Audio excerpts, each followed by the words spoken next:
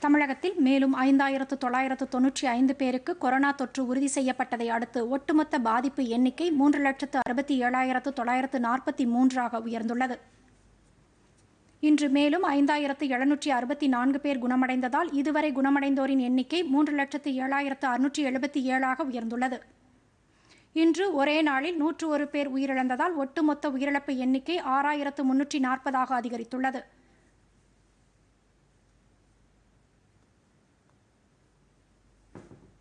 தற்போது ஐம்பத்தி மூன்றாயிரத்து நானூற்றி பதிமூன்று பேர் சிகிச்சை பெற்று வருகின்றனர். இன்று சென்னையில் ஆயிரத்து இருநூற்றி எண்பத்தி இரண்டு பேருக்கும் செங்கல்பட்டில் நானூற்றி முப்பது பேருக்கும் திருவள்ளூரில் முன்னூற்றி அறுபத்தி ஒன்பது பேருக்கும் காஞ்சிபுரத்தில் இருநூற்றி இருபது பேருக்கும் தொற்று உறுதி செய்யப்பட்டுள்ளது. கோவையில் முன்னூற்றி தொன்னூற்றி ஐந்து பேருக்கும் சேலத்தில் இருநூற்றி அறுபத்தி ஒன்பது பேருக்கும் தொற்று கண்டறியப்பட்டுள்ளது. பொதிகை செய்திகளை யூடியூபில் தமிழ் நியூஸ் தூர்தர்ஷன் என்ற சேனலிலும் முகநூலில் டிடி பொதிகை நியூஸ் என்ற பக்கத்திலும் ட்விட்டரில் டிடி நியூஸ் சென்னை என்ற பக்கத்திலும் இன்ஸ்டாகிராமில் டிடி பொதிகை நியூஸ் என்ற பக்கத்திலும் காணலாம். மேலும் உங்கள் கருத்துக்களை Podhigai DD news at gmail dot com என்ற மின்னஞ்சலில் தெரிவிக்கலாம்.